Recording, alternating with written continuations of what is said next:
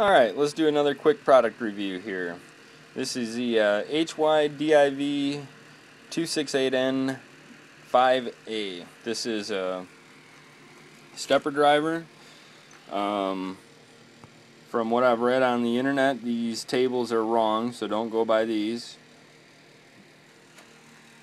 What's my overall thoughts on this guy? Um, it actually didn't do too bad.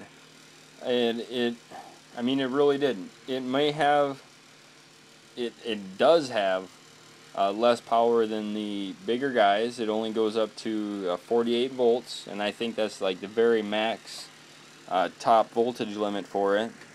Um, and I, you know, the 5 amp right there is the absolute maximum for the chips inside. So you're if you're running it at at 5 amps at 48 volts, you know, you're you're asking for it to die.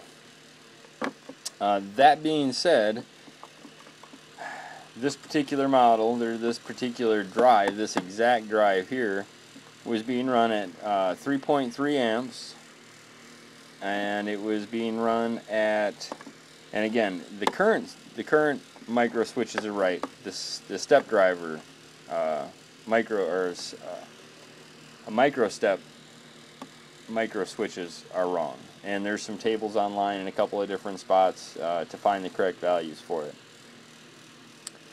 But uh, the key thing is is that I was running, I believe it was 16, uh, 16th or 8th inch step. it was hooked up for all of two seconds, and the magic smoke just came rolling out of it, uh, rolling out of it good. I double checked all the connections, make sure I didn't do anything wrong that's always a possibility, even though I double check before I ever power anything. Everything looked right. Uh, I immediately unplugged it and plugged in that one right there, which is exact same model, and there was no issues whatsoever. So it was not a wiring issue, it was straight a drive issue. Um, now, the, the seller has not made that right yet. I have to send that in um, to them to get, uh, to get my refund. Now, I don't mind that. Uh, you know, obviously they want to make sure that I'm not, um, you know, just trying to screw with them or whatever, and, and that's totally understandable. But at the same time, yeah you know, I have a lot of stuff to do. So getting down to the UPS place or whatever, and and then obviously I now I have to pay for uh, pay for shipping back. Um, that's kind of uh, disgruntling. Um, so anyway, um, do I recommend this guy? You know, I if you're doing a budget mill, a budget machine you can pick up three of these drives for the cost of almost you know almost pick up three of them for the cost of of one of these. You can pick up four of them for the cost of one of these which is not the same brand. Looks identical. Identical settings identical specs um, but it's not the same name on it four of them for the cost of the end guy, uh, three of them for the cost of the other ones. So you could literally have six drives for the cost of two drives, which would be roughly a 100 and say 130 dollars. 130 140 dollars for six of these guys and have three spares.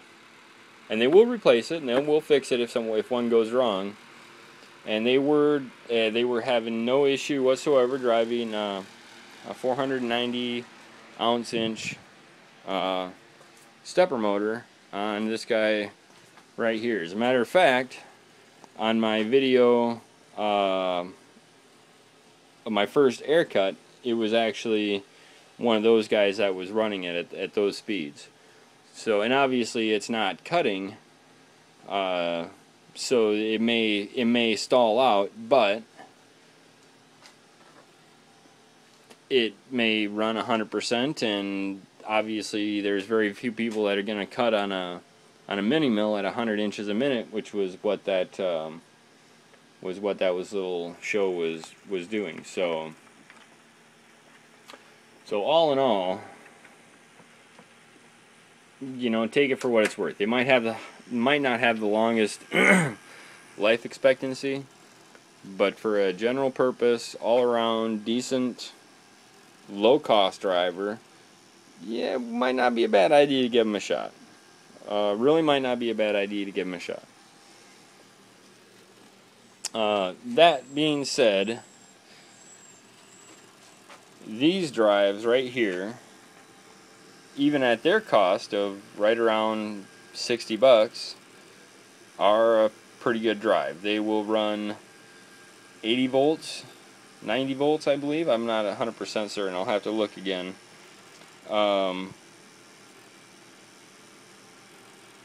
seven. What's the max amp say on there? 7.8 amps, 5.6 RMS. Um, so that'll move a pretty good sized motor. As a matter of fact, nope, I have a different drive on there. Same specs though. Uh, that's uh, enough to raise and lower that spindle head uh, very quickly. Uh, very quickly. Um, running on a yeah, medium pitch ball screw. So can't uh, I can't complain a ton.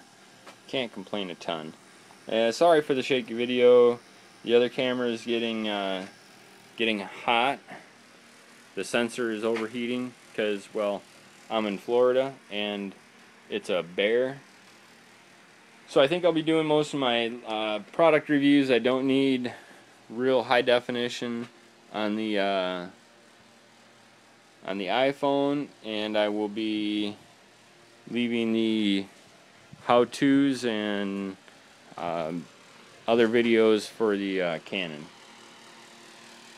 Thank you. Subscribe, like, share, comment, all the above, uh, all at once.